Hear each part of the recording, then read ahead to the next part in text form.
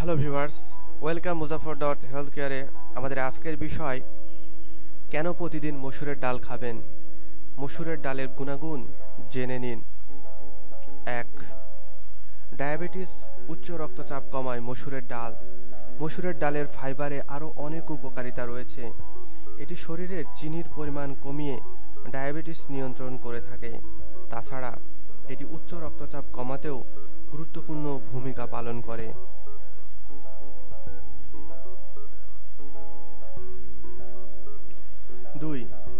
Cholesterol কমায় মসুরের ডাল।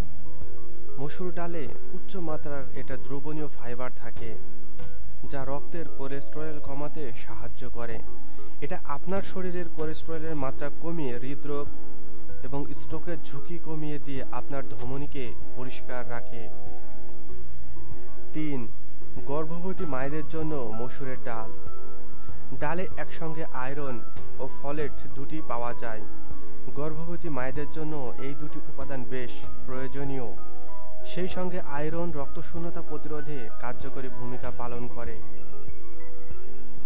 চার, হজমে সহায়তা করে মসুরের ডাল। মসুর ডালে প্রচুর পরিমাণে খাদ্য আঁশ রয়েছে, ফলে এটি হজমে সহায়তা করে। এছাড়াও কোষ্ঠকাঠিন্য প্রতিরোধের জন্য এটি একটি আদর্শ খাবার। ওজন কমাতে সাহায্য করে।